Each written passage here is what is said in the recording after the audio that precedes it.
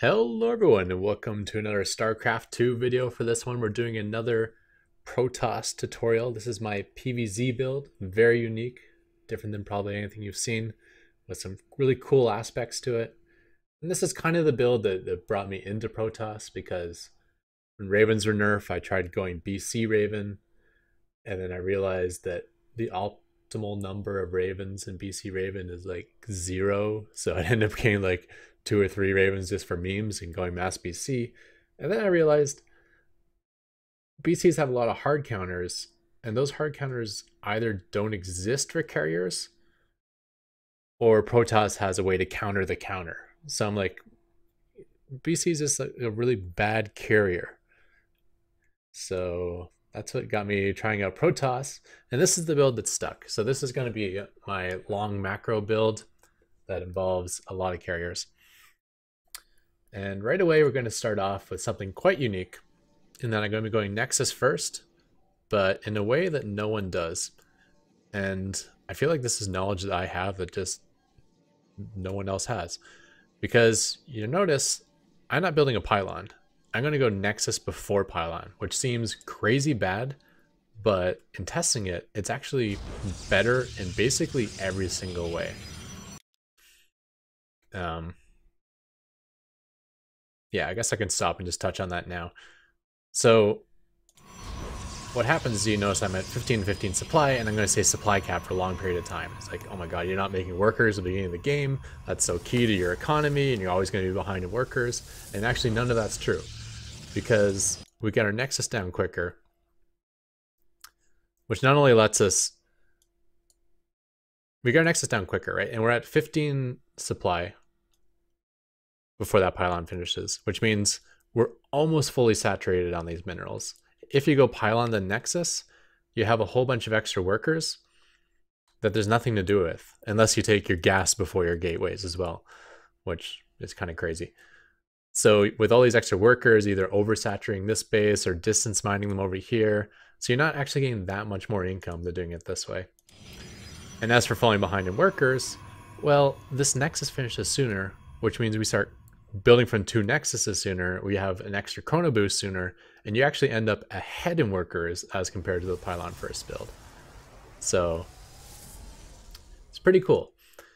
And then on top of that, it allows you to do something quite different in PVZ in that you can nexus first and cannon rush, which is usually not possible. So let's get into the build now. So you build the Nexus at 400 and immediately send out that probe, and then bring another probe at the same time and build a pylon at 100. And the reason you don't build this pylon with this probe is just because it's really tight on timing to get the cannon rush down. Uh, for the first pylon, if you want to know how to always place it perfectly, place it so when you see the ring, the ring doesn't touch here and the ring doesn't touch here. And this is true for every map. Just keep it like just slightly away from touching the edges. And that'll allow you to place structures um, right up against the edge. And it's nice to have the pylon far back, as you'll see later, as far back as possible. Because you, you could also put the pylon here and do the same thing, but it won't be as good. Yep, so anyways, um, you're building the pylon, and as soon as the pylon finishes, we're going to throw down a forge. This probe is traveling across the map and you can see I'm kind of doing a path thing where I'll avoid the initial overlords. And since the second overlord typically goes up this way, I don't even go in this way, I come in this way. So forge goes down. Back to mining, coming in. And we're going to throw down a pylon right away. Uh, unfortunately, it looks like it will get scouted. But we got some minerals to play with. If he doesn't come right away, we can still maybe get this going. Uh, the next structures you're going to do is double cannon.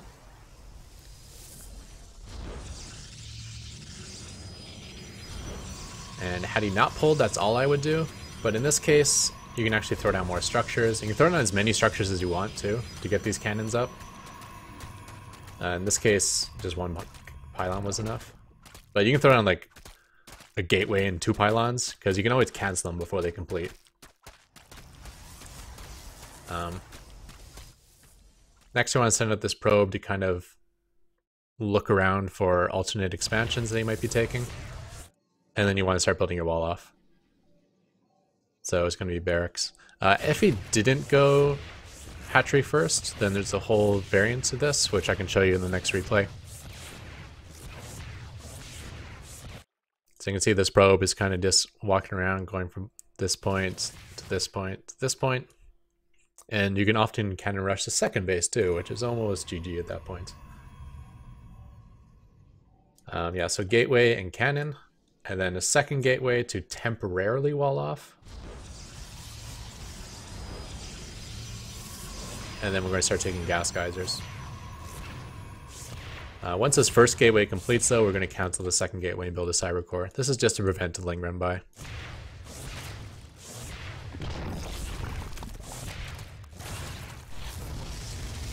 gateway completes, cyber core, and we leave a gap, which we will fill with a probe. And this is why it's nice to have the pylon back as far as possible. If a bunch of lings come flooding in, I can throw down a uh, pylon here to wall off. And even if he goes for like a bailing bus, there's even enough room to throw down a forge.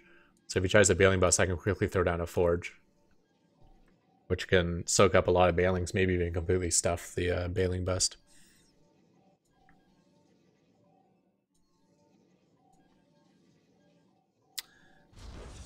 Uh, we're building a single cannon in the base. I like to have it near the mineral line. This is in case of ling drop.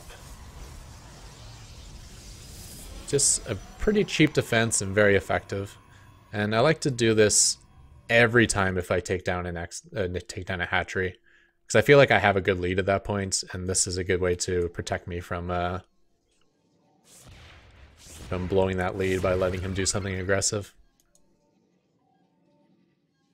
Um, but even if you don't take down the Nexus, it's not a bad idea. Early ling drop is not uncommon. Uh, with the Cybercore finish, we threw down a Stargate right away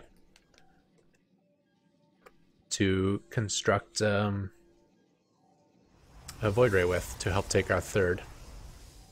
And the Void Ray is about all you need to take a third because you can only have like Lings and Roaches and Ravagers, and none of those things can kill a Void. I mean, I, technically Ravagers can, but not if you're paying attention.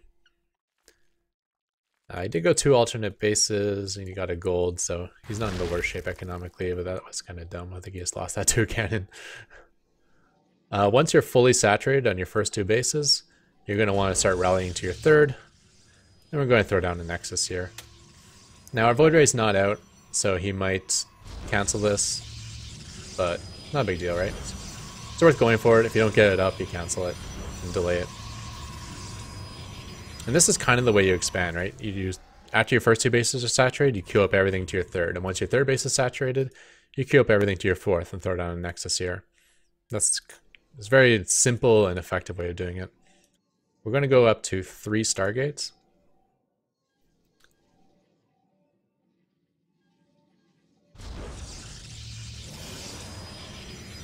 And I like to chrono out carriers for a little while. Now, in theory, if you want more carriers, you can always build more Stargates. But if you want faster upgrades, the only way to do that is through Chrono Boost. So in the past, I've just spent all my Chrono Boost on double upgrades and shield upgrades. But you're a little bit vulnerable at the beginning, especially against um, Hydra timings. So I feel like it's good to throw a few chronos into the Stargates first to get a handful of carriers and then start just mass chronoing the uh, the double upgrades of the Forge.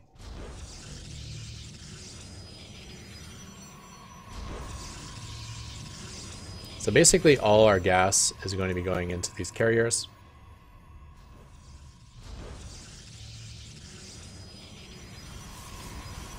And anything we have left over in terms of minerals is going to be going to static defense. Um, shield batteries, one is enough. Now the shield batteries cost 100. Cannon is just flat out better in terms of defense. But it's nice to have at least one.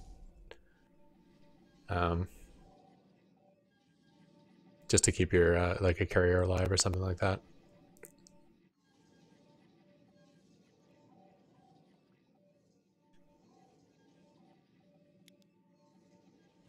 Uh, make sure you get the upgrade right away for the faster interceptor stuff. Otherwise, carriers will not be able to fight Hydras at all. The interceptors will just die as they're exiting. Need that upgrade to spew out all the interceptors at once. Uh, with this base fully saturated, you can see I started queuing to the next one and throwing down a Nexus there.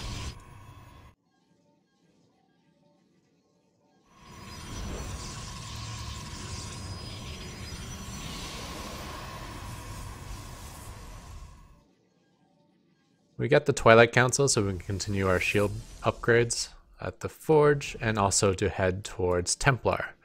Because Templar, basically everything that counters carriers can be solved by Templar. um, it's just pure Hydra, for instance, then just adding in Storms is great. Although carriers alone can handle Hydras as long as you're maxed. Um, but more importantly, corruptors, which are very strong versus carriers because of their bonus to massive, uh, are surprisingly mincemeat to archons. Um, I always thought void rays would be the counter to corruptors, but they're not at all. It's archons. Archons do splash damage, bonus to biological, and you just get them on the clumps of uh, corruptors and they disappear like hitting them with seeker missiles. Again, this base is fully saturated, so we're moving on to the next. I kind of, in terms of static defense, I need to, I think of like where I'm positioning my carriers. In this case, I'm going to position my carriers over here to help establish this one base. So I know that this one's like way out of the way for me, so I threw down an especially large amount of static defense here. So you can see I have like three or four cannons over here and like 10 over here.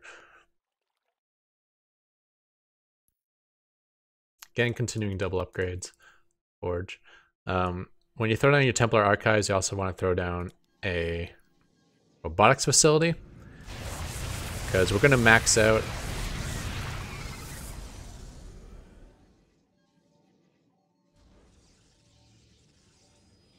Um, yeah, when we max out, we're going to kind of be hitting 333 at the same time, and that's when we want to move out. And when we move out, we need uh, we need observers. Clear out the creep, and to deal with burrowed infestors, which are, might definitely be trying to neural parasite our carriers, as that's supposedly a counter to carriers, though it's really not. so it's taking slow and steady. I also like to go up to three or four gateways. I do not get warp gate, partially because I have these on double air upgrades, but also because then you gotta remember to do warp in cycles, right? If you just leave them with gateways, you can just queue up a bunch of Templar. it's a nice uh, dummy-proof way to build units if you're really bad at macro. Like me. And we're just starting to build up that Archon count now.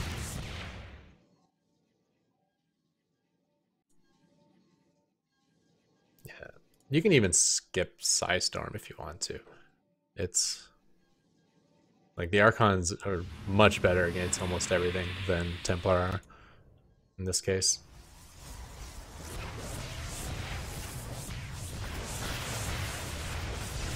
He's gonna pee on a structure. I've had games where he's killed like every single Nexus by peeing on it, and it's not a big deal because you can just rebuild it. He probably loses more killing the Nexus in terms of value than you gain than you lose in losing the 400 minerals.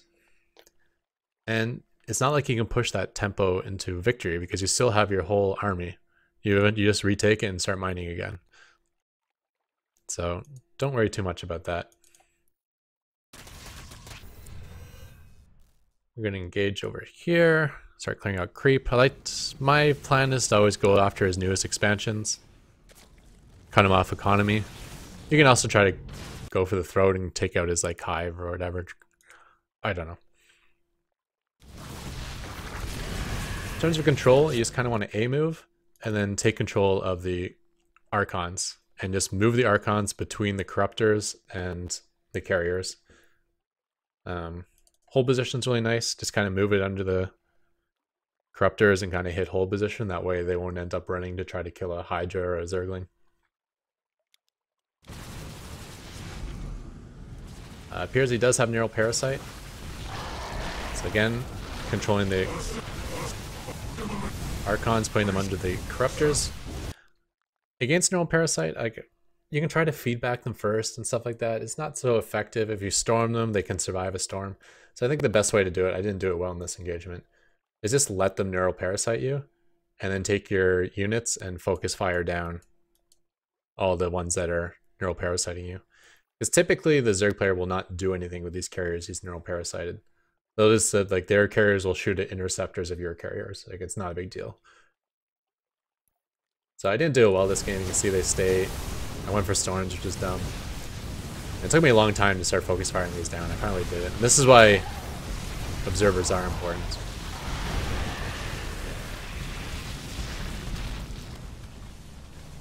So we got 323 upgrades, almost 333.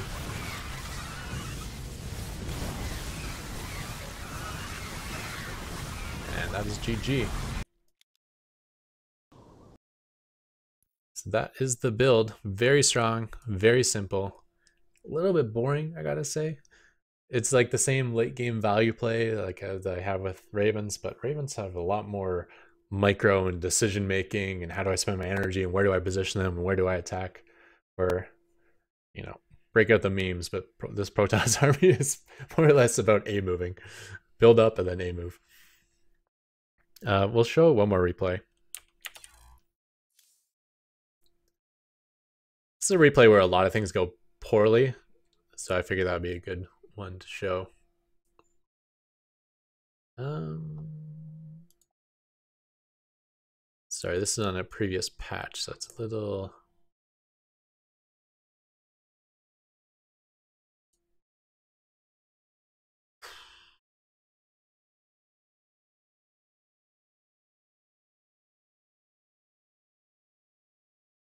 Where are you?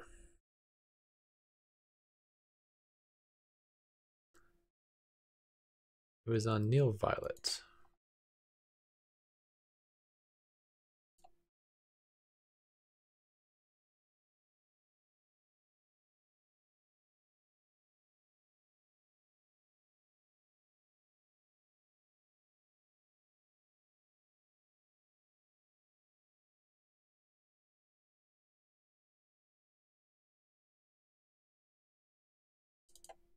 Think this is it.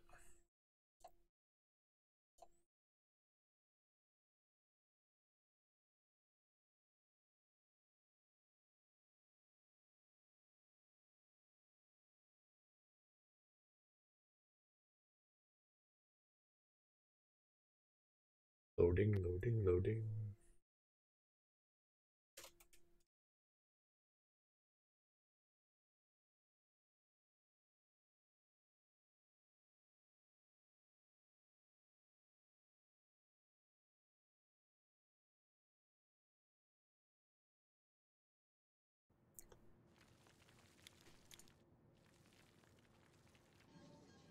Okay, so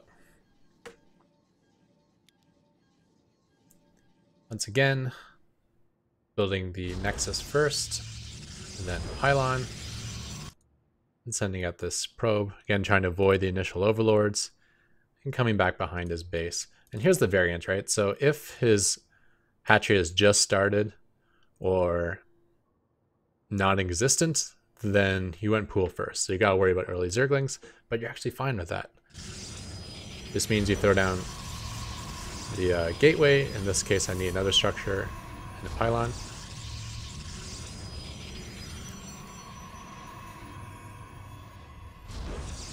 Yeah, so gateway, cannon, often the second gateway is enough to solid wall off. Um, in this case, I had to throw down a pylon and then a gateway and you're fine against uh, the Zergling rush. So the Zerglings will be arriving now. You got a solid wall and a cannon. Easy peasy. Now I said things went wrong this game because he wasn't actually going for that sort of attack. He took the gold base. So I'm doing a super defensive opening. Meanwhile, he's doing a greedy opening. Not a good combination.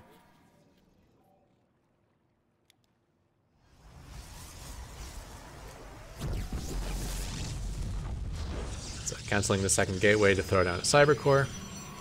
Uh, on this particular map, normally you leave like a one gap and put a, a worker in there. In this case, I just completely solid wall off because when I need to expand next, I can always take down this structure. Plus, I'm the next expansion will only be my fourth because I have a pocket expansion up top.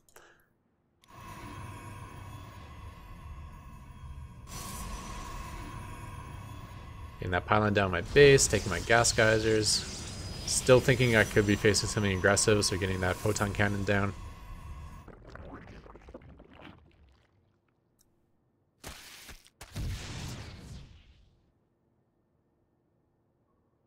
I guess he scouted that. It's kind of weird how he beeline straight for that probe. As soon as the Cybercore's done, we're starting the Stargates, because the Void Ray is important. Not so much on this map, because you have this over here, but Void Ray is important at holding off attacks.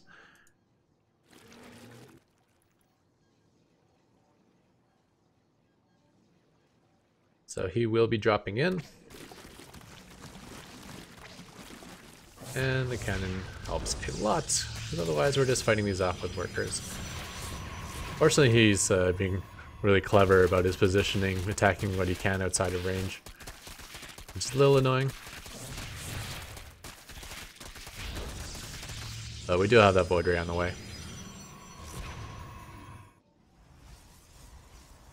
Checking for the third. Come over here trying to kick off some workers. Got one or two successfully. Four workers until. I guess we lost one over here, so I got three on the drop pretty good.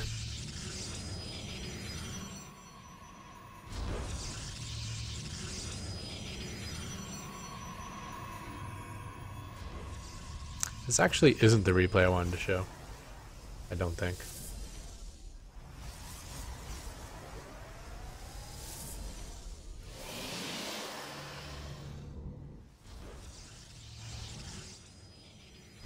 Anyways, um, yeah, going up to those. Okay, so in this particular game, I think I'm trying faster.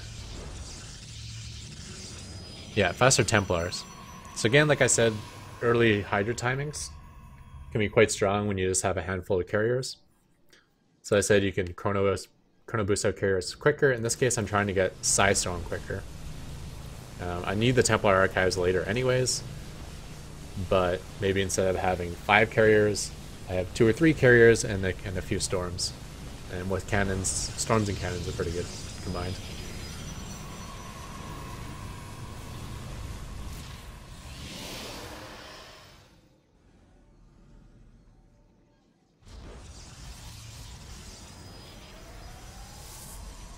So again, taking this fourth base once the other bases are saturated. The first cannon, you typically put it here, that way the cannon can actually shoot at these rocks.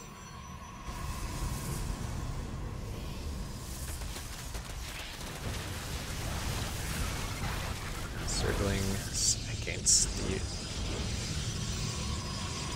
grinders of uh, carriers. Carriers have very high DPS, extremely high, especially versus ground.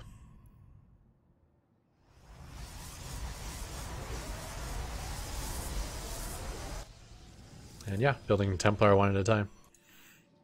So lower carrier count, but Storm. Kind of cool. Placing the...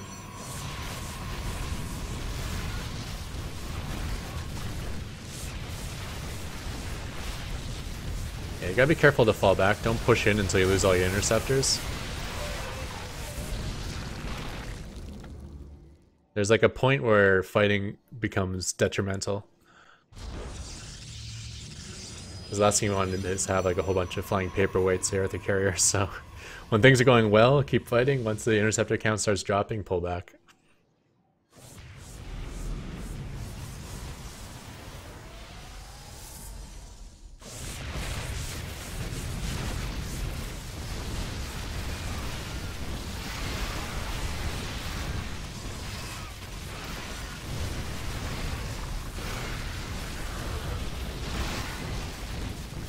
Pulling probes is never something you want to do, but sometimes it looks like it's necessary.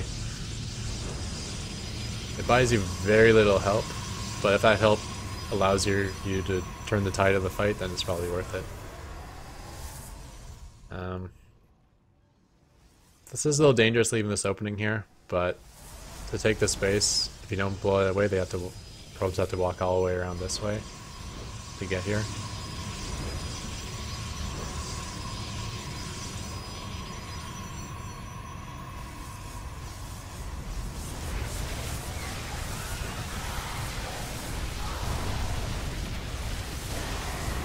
Does have corruptors. And the issue, another issue with Storm is no matter how well you hit the enemy with Storm, you're also hitting all your own interceptors at the same time. And your interceptors die a lot quicker than his units do. So Storm can actually... Well, it's always a net benefits. Sometimes it's barely helpful because you destroy so many of your own interceptors that kind of uh, negates the help it gives.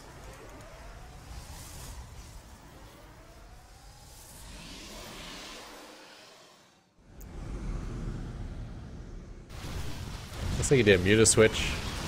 Just kind of cool. Picked off Carrier, though I'm not sure if that was worth it. And it's being really annoying to my army. Just Zerglings here, not an issue.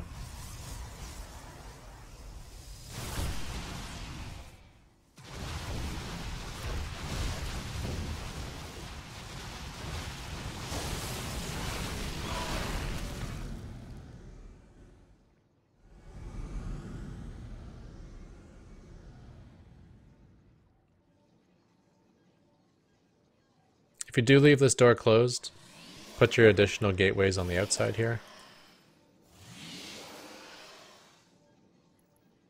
That way you can you can rally the Templar better. You can see we're getting to our ultimate composition here. We got the 333 upgrades done, we got the Archons, I think we're just waiting on uh, the Observers. Yeah, there's the facility. So we do have the Observers, now we're moving out.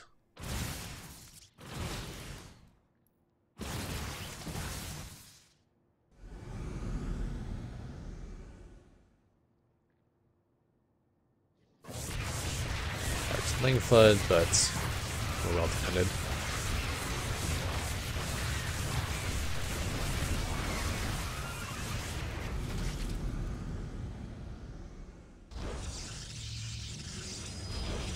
Appears I'm not pushing across the map yet. I just cleared out some creeps to take my next base. Uh, I don't really recall this game was from so long ago. Not sure what my mindset was, why I didn't think I could go across the map. Maybe because I wasn't max quite yet, but um,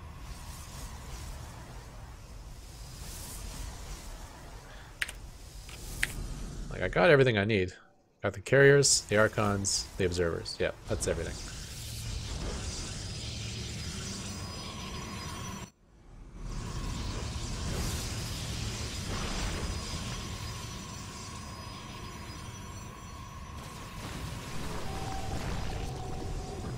He's actually one of the few Zerg players who knows how to use Parasitic Bomb now. You don't actually spam it because they no longer overlap. So you use them in intervals. Throw down a couple, pull back, throw down a couple more, pull back, throw down a couple more, pull back. Now these are carriers, so Parasitic Bomb only does so much.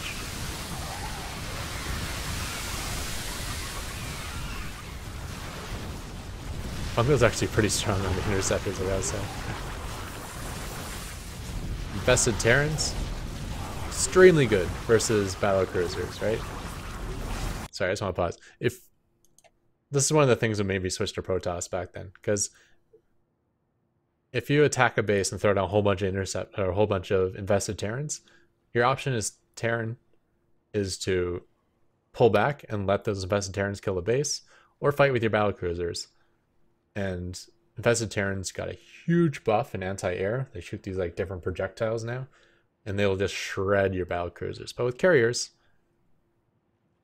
you can fight the interceptors you can fight the infested Terrans, I mean, and have your carriers like way in the back and be completely safe because it's your interceptors are the only things the infested Terrans can shoot. It's just hard to justify playing Terran when for battle battle cruisers when carriers are better in basically every single way.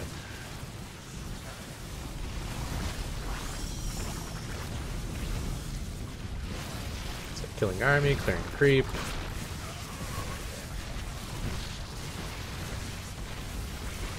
Just super strong. Always keeping the Archons on the Corruptors.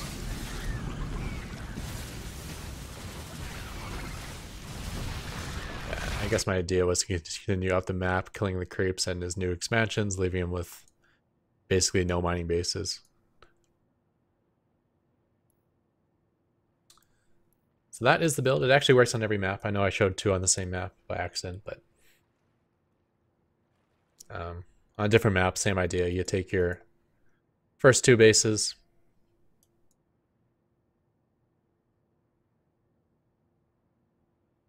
Did I show two on the same map? No, I didn't. Never mind. Take it all back.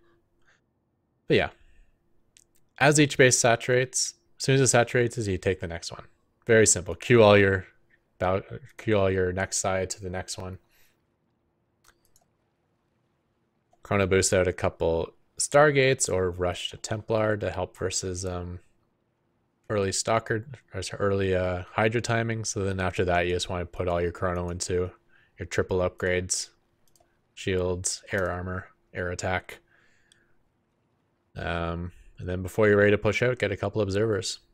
You don't even need a robo facility before then.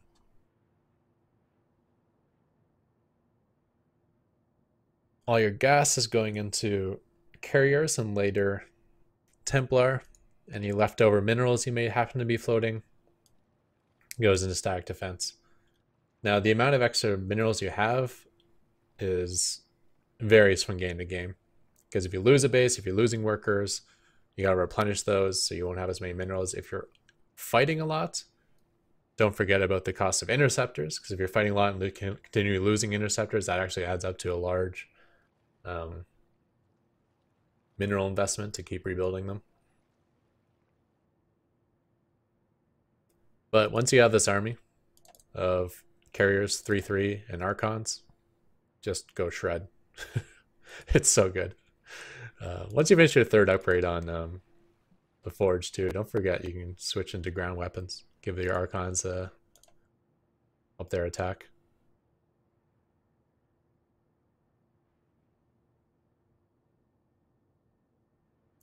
That's about it. The only um, major weakness this build has is Nydus Worm.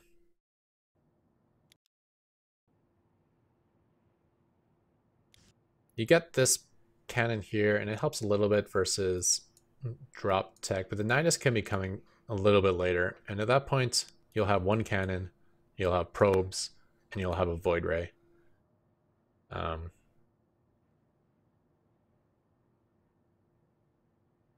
now, I like to kind of sneak the Void Ray behind and kill the Nydus to keep reinforcements from coming. That gives you the best chance of surviving it. But if a bunch of queens pop out of that Nydus, you are in a lot of trouble. A lot of trouble. Um, you're not dead, but you can't kill what comes out of the Nydus, and that's a problem. What you kind of got to do is uh, build a second Stargate back here or something.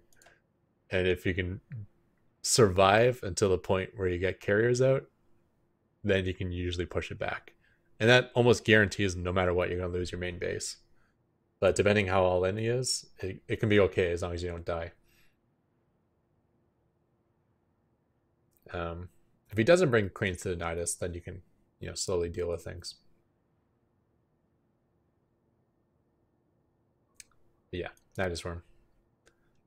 Major issue. Nydus Worm and then those mid-game timing attacks from Zerg that involve Hydras plus other units or just Hydras on their own which you may do scouting multiple stargates.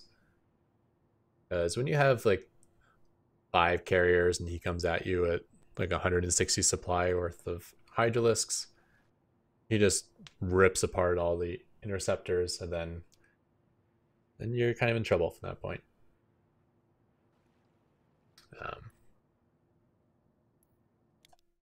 in the end game, when I got this thing walking around, Hydras are an absolute joke.